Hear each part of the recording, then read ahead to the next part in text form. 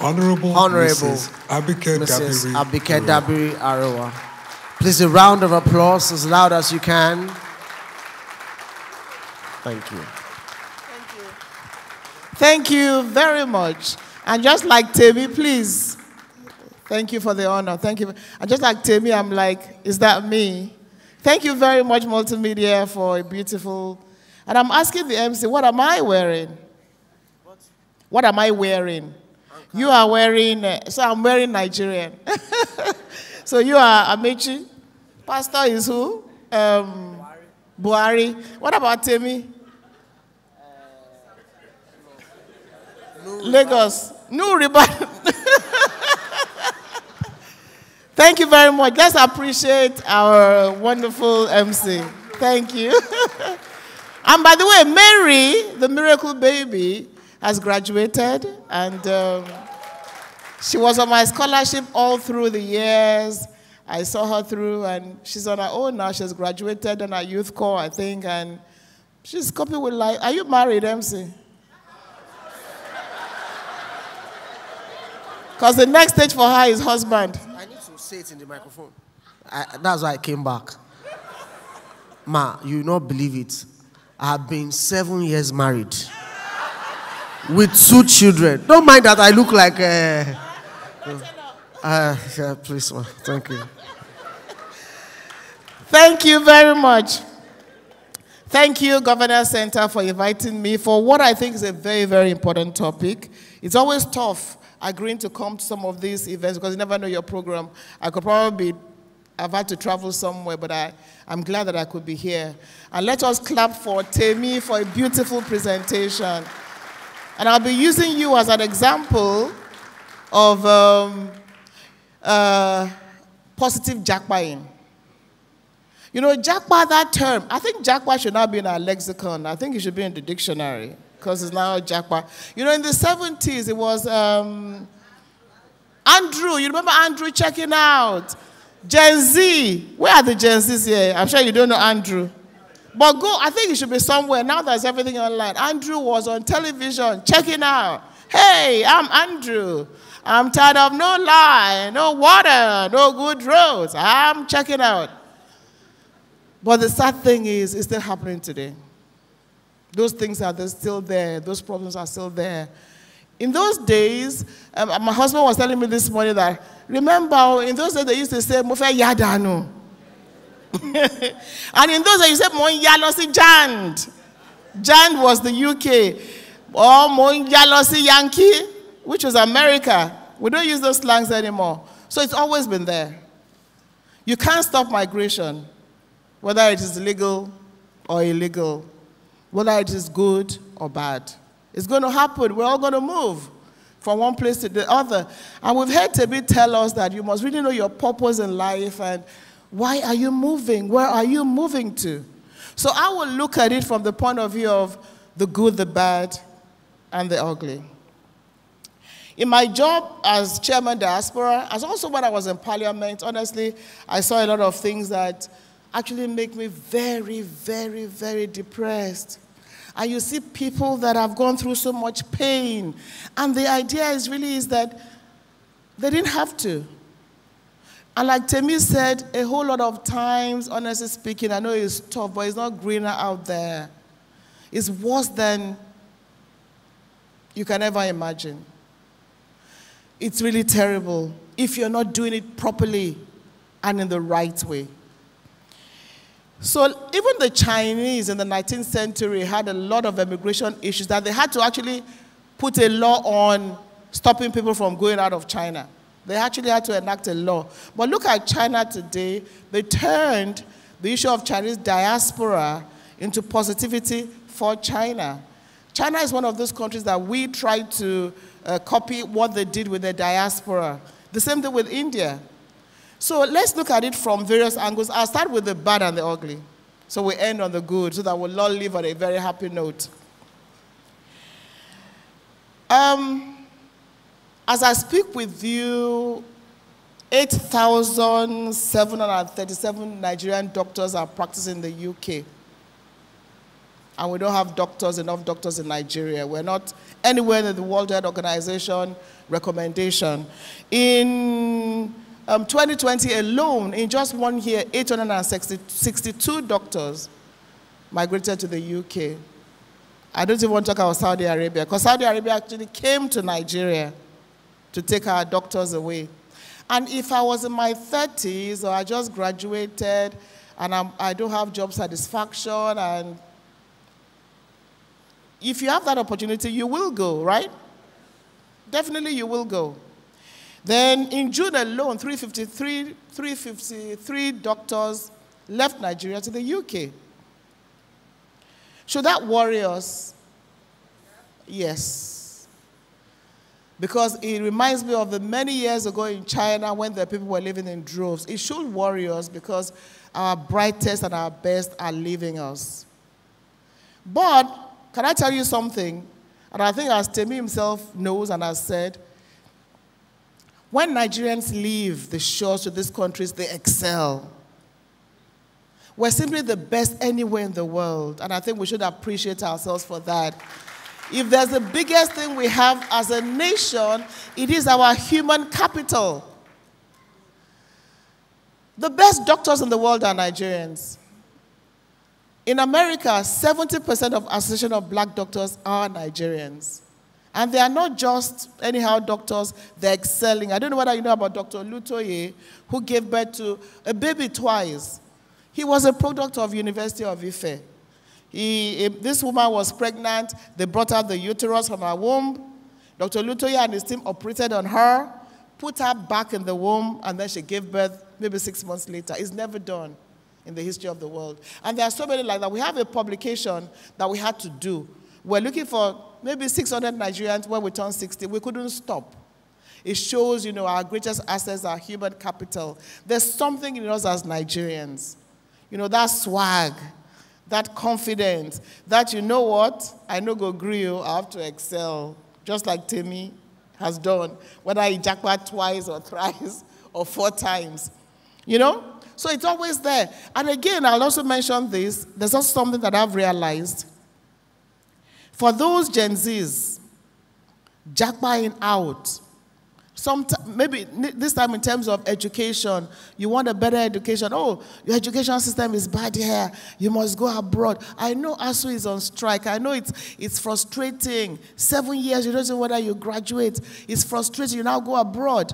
Then you go to just any institution. Can I tell you something? It's sad, but you're going to come back not better than you left. There are schools set up for Nigerian students because of this class that must go abroad. There's the one we went to, it was a Portakabin in the middle of a market in a neighboring country. We went there, and honestly, I was shedding tears. I happened to know one of the students. She mentioned her. I used to, so I called the mother. I said, "Have you seen the school where your child is?" She said, "No."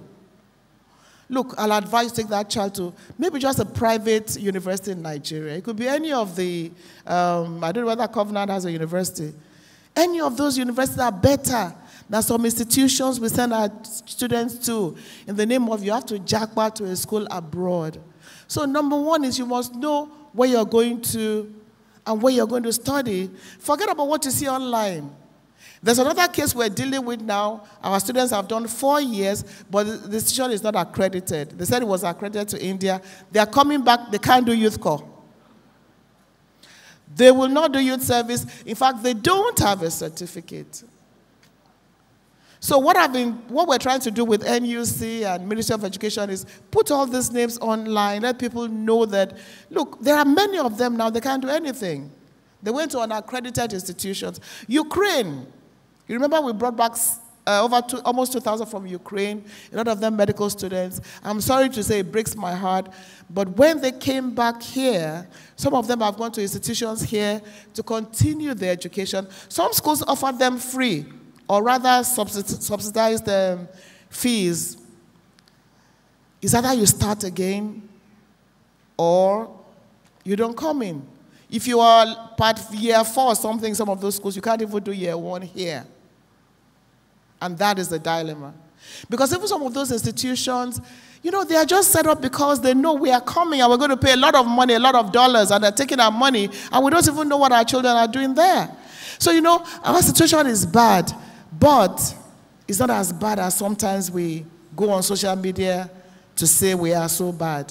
Things must be done. Our country must be fixed. But we should not keep losing and destroying our younger ones who are doing these things out of ignorance. So that is a very important point that I hope that my young um, audience here will take into consideration. Even if you are going like Temi, do your due diligence. Know where you're going to. Know the institutions that you're going to study in. So we have people living in droves. Human trafficking. Agents are making money because you must japa. I receive people at the airport all the time. I have some of my staff here. We received how many from Lebanon? Hundreds from Lebanon. One of them held my legs at the airport and said, Auntie Abike, mommy, even if he's selling guguru under the bridge, I'd rather do that than express what I've gone through. There's a lady, she was told she was going to be a school teacher, but she turned out to be made a prostitute. And then you are there, you can't even leave. She was sleeping with both the husband and the wife. We brought her back to Nigeria. President Buhari sent us to Libya. We went inside the Libya detention centers. It's one of the most emotional things I've seen in my life. I saw Nigerians, young men and women, crammed up like sardines in a room. Again, when we, we brought back almost 10,000. But guess what? They are still going. Till tomorrow, I'm still getting, please help us. My, don't go through agents or traffickers or through the desert. Rule number one travel regularly. You know, one of the girls, I will never forget her. When we got into that detention center, she spoke Yoruba to me because if they know what she's saying, she's in trouble. She, they had slept with her, she was pregnant. And um, the guy knew we were coming, and he poked something inside her, and she was bleeding as she was speaking to me. And she touched her uh, part and showed me blood. And she said, When you leave here, we're dead. You slept with me, they choked something in me, now I've forcefully aborted, I'm in pain. But we brought them back. And we told the whole world we've received people, don't go irregularly, don't go. Somebody takes your passport and say you are going to make money, you're going to be as rich as Temi, you're going to build a house, you're going to buy houses. It's a lie. So that is number one. Please, my dear brothers and sisters, or let me say, my dear children, don't let anybody tell you such lies. So if you're going to go abroad, go regularly. I know somebody somebody sent me a message when I said I'm getting ready for my talk. He said, Eh, what are you going to say? Just tell them Nigeria is a terrible country, everybody must go. Don't listen to such people. And that is the reality. You know? So if you must travel, it's important you go regularly, safely. There's something we're doing now, and I hope you can key into that. We're working with some of the EU nations, what we call um, match program. In other words, there are programs where they will tell you, look, we're looking for these vacancies, and we have a lot of Nigerians keen into that, and some of them are going. There's nothing wrong in going abroad if that is your destiny, but please go properly. So that is the bad part of the issue of japaing, uh, issue of migrating and living in a bad way. Um, we have several cases, even in Saudi Arabia, Lebanon, um, Oman, in fact, what we've done in Lebanon is that no more work visas. So if you're going to Lebanon, say you're going to work, you don't get it anymore. So we've had less cases. Oman, people are always calling. Again, we've been able to deal with that, you know. You're, you're going, and then we had a, um, a 14 year old girl that I just brought back from um, Dubai who was sent there by parents to go and work. The girl jumped from some high rise building, went to the mission, she's back home. In Ghana, we went for a program and I saw a 12 year old Nigerian girl whose parents took her to Japa, that from Ghana she's going to get to Europe. I, you know, that was so touching that you don't even wait for any procedure, just come back home, pay her ticket. You received her, right? She's back with her family. So those things are really very depressing. I really shouldn't be happening. No matter how bad the situation is, we don't need to put ourselves in those circumstances. There's a guy we brought back from Libya. He said to me, he sold everything he had, 10 million naira. 10 million naira. Then you, you said you're going to Europe. He's back home with nothing and has to start again. One of the guys, again, we brought back, started working with MTN, got recharge cards, started selling recharge cards. He's built a house, he sent his children to school, and he's doing fine. So the reality is, like Temi said, really you must know where you're going and what you're doing. So we must discourage irregular migration. We must discourage you, say you must go anyhow, anyhow. That has to stop. And I hope that your center will help in propagating this message at every point in time because we're losing a lot of people. Those we brought back are those who were lucky. Many have died. That is the reality. And it's a very, very sad reality. And like I said, that is the good, the bad, and the ugly. And part of the ugly is when you do go to these countries, please, my brothers and sisters, my children, we need to behave properly. You can't go to another man's country and behave badly and then you're calling on us to come and save you. We will get involved and do all we can. If you do not commit a crime, trust us, we're there for you. But if you do commit that crime, it's difficult. There's a problem in Dubai now. Everybody's going to Dubai to work. Be careful. It's getting tough. Dubai has now stopped a lot of Nigerians from certain work because, I'm sorry to say, we did a lot of things wrong. In Dubai, I'm sorry to say, Nigerians introduced kidnapping. Nigerians introduced cultism. You had to call us, we had a meeting and say, Can you define cultism? Because we don't understand it, it's not in our laws. How do we deal with it? So you find Nigerians who are supposed to be in Dubai that decided to start doing cult wars. So right there in a public building, they started killing themselves. And when they arrested them, they said, Oh, he's a member of cult A. He came to my territory in cult B. It's not right. And we can't keep defending that. And some people will tell me, Oh, they are Nigerians. No, we can't. So let's tell ourselves the home truth. When you go to these countries, behave yourself. Because you know what? Those guys are staining you that will be going properly to do your job. So don't let the bad spoil the good. And the good thing is, those bad are just 1% of 100%. But it's important that we talk about it, let them know we do not tolerate it, and don't let the bad spoil the good. Now I'll come to the good, which, like I said, Temi Popoola represents. Again, another round of applause for you. And the good is that, yes, you can migrate regularly, legally, and all that. If you don't live regularly and legally, there will be no diaspora commission. So the idea is that even when you do go, and he said it too, we, there, let's have that connection between you and your home country. So when you do migrate, it's important that you, and then before you go, Temi has said it, understand the laws of those countries. There are diaspora organizations and groups that you can talk to. We can give you as much information as you want. Even before you go, if you come to us, we'll guide you. And then we're trying to work with some missions where we have issues and do like um, the do's and don'ts, frequently ask questions.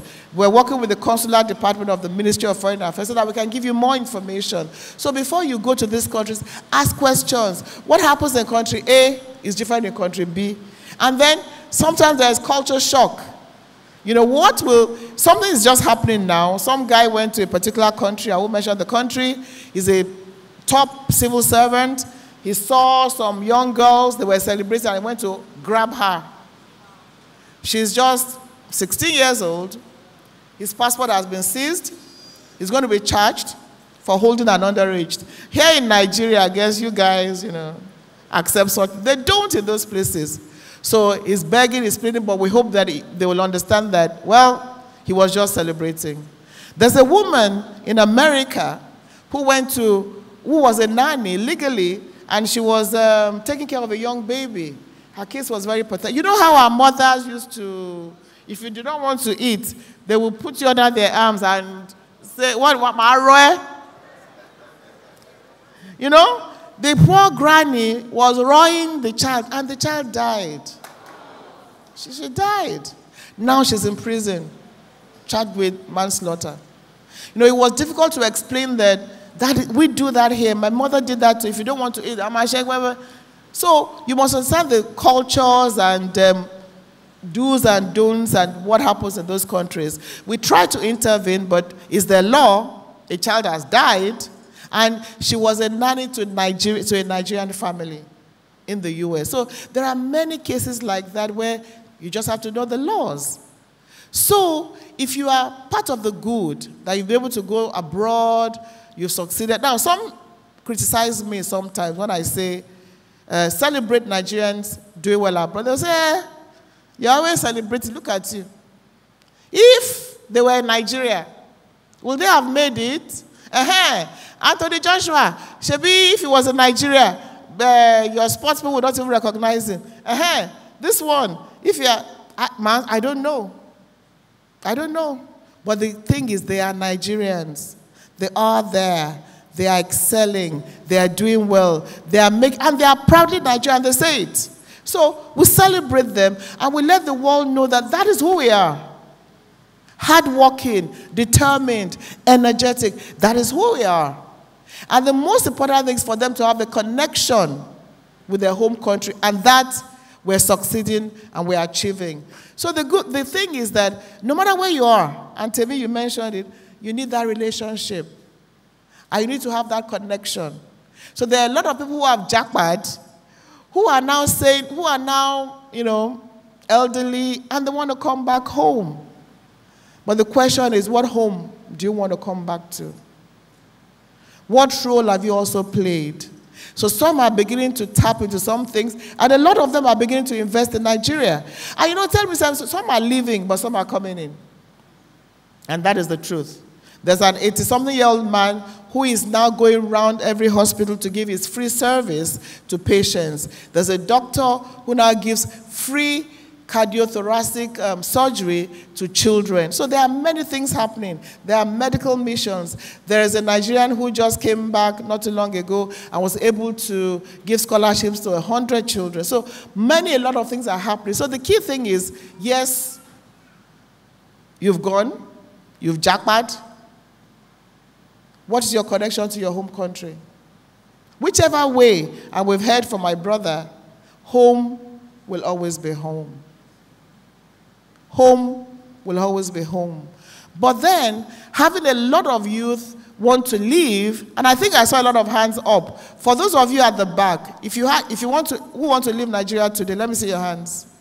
If you want to leave Nigeria today, if you had the opportunity.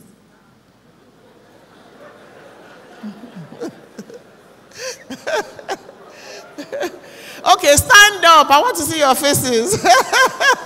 Ooh, okay.